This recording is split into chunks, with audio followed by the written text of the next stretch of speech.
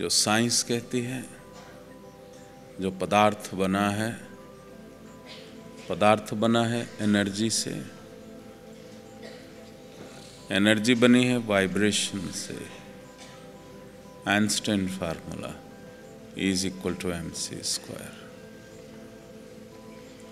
और साइंस अभी यहीं तक पहुँची है। पदार्थ, एनर्जी एनर्जी, वाइब्रेशन। शिव योग कहता है, जो वाइब्रेशन की जो सोर्स है, उत्पत्ति है, जो कि साइंस अभी नहीं पहचान पाई, वो है कॉन्शियसनेस कॉन्शियसनेस से वाइब्रेशन की उत्पत्ति होगी वाइब्रेशन से एनर्जी एनर्जी से पदार्थ बनेगा. इसलिए शिव योग कहता है कि जड़ कुछ भी नहीं, सभी चेतन है।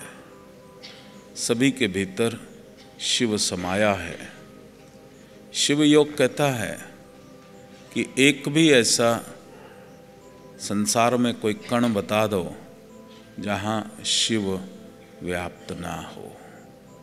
कण कण में वो व्याप्त है।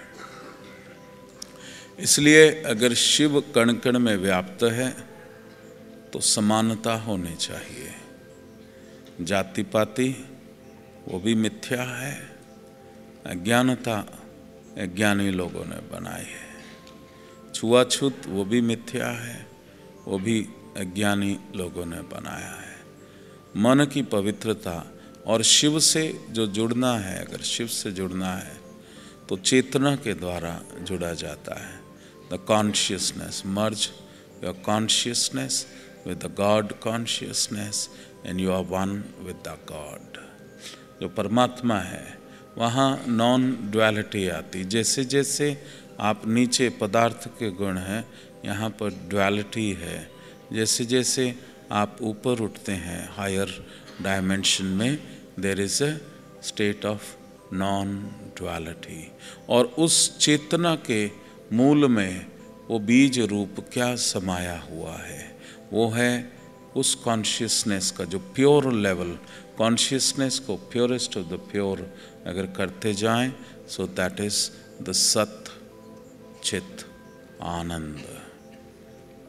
और उसी सचित आनंद को हम कहते हैं द अनकंडीशनल लव और अगर उस अनकंडीशनल लव की फीलिंग को तुम ग्रॉस बॉडी में अगर क्रिएट करना शुरू कर दो, अभी कॉन्शियसली क्रिएट करना शुरू कर दो तो बगैर तिलक लगाए, बगैर गिरुए वस्त्र पहने, बगैर घंटी बजाए, तुम्हारे अंदर आध्यात्मिक शक्तियाँ जागृत हो जाएँगी।